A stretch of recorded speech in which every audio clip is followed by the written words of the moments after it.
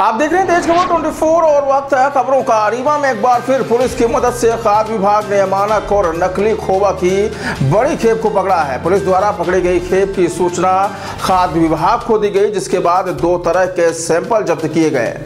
मामले में पुलिस ने खोबा लाने वाले शख्स को भी पकड़ा है, जिससे लाई गई खेप के संबंध में पूछताछ की जाई है। बताया जा रहा है कि यह खोबा शादी सीज़न में खपाने के लिए लाई गई थी। दरअसल यह कार्रवाई गुरुवार को रीवा की विश्वविद्यालय पुलिस ने की है।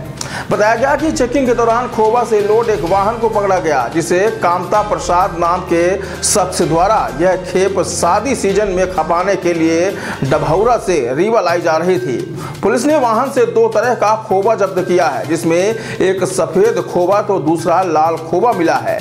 पुलिस की सूचना पर खाद्य विभाग की टीम ने दोनों खोबा के सैंपल जब्त किए तो वहीं खोबा अमानक पाए जाने पर जब्ती की कार्रवाई भी की गई। इधर मामले में खोबा व्यवसायी को पुलिस ने गिरफ़्तार कर लिया है, जिसके विरुद्ध वैधानिक कार्रवाई की जा रही है। ये विश्वविद्यालय थाना क्षेत्र में कार्रवाई हुई है। वहाँ थाना से सूचना प्राप्त हुई थी कि डभौरा से कोई कामता प्रसाद गुप्ता का खोवा लेकर के आ रहा खोवा मिलावटी प्रतीत हो रही तो उसके सैंपल लिए गए हैं प्रथम दृष्टया उसमें फैट की कमी प्रतीत हो रही है। तो उसके लिए दो सैंपल कलेक्ट किए गए हैं दो प्रकार का था लाल और सफ़ेद। दोनों के सैंपल कलेक्ट करके माल को जब्त कर दिया गया कितना मामला कितना बरामद डेढ़ क्विंटल के आसपास है।